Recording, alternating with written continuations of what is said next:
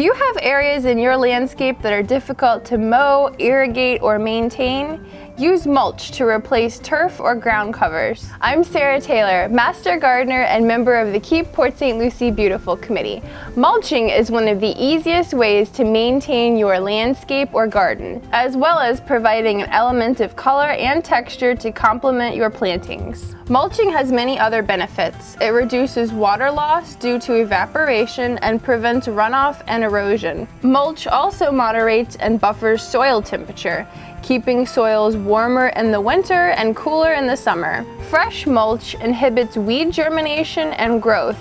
As you can see here, I have lots of weeds popping up because the mulch has washed away over time. On the other hand, thick blankets of fine mulch can become matted and may prevent water and air from seeping through, or become like potting soil and may support weed growth. Rake old mulch to break up any matted layers and to refresh the appearance. Mulch around trees and shrubs eases maintenance and reduces the likelihood of damage from weed eaters. However, if you apply mulch too deeply, it could hinder oxygen exchange to roots, which stresses the plant. Mulch piled against tree trunks holds moisture against the trunk and stems and trunks that remain constantly wet are prone to root rot.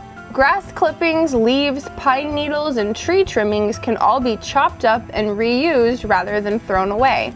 I have a mulberry tree in my yard that drops very large leaves that I then crunch up and use as mulch around other plantings. This free mulch is the most environmentally sound and least expensive way of returning nutrients to the soil. Shell, crushed stone, or pebbles can be used as mulch, but they won't contribute to the soil's nutrient and organic content or water holding capacity. They also reflect heat, increasing the water needs of plants. Whatever you do, don't use cypress mulch mulch. Harvesting these trees from the wild depletes our wetlands.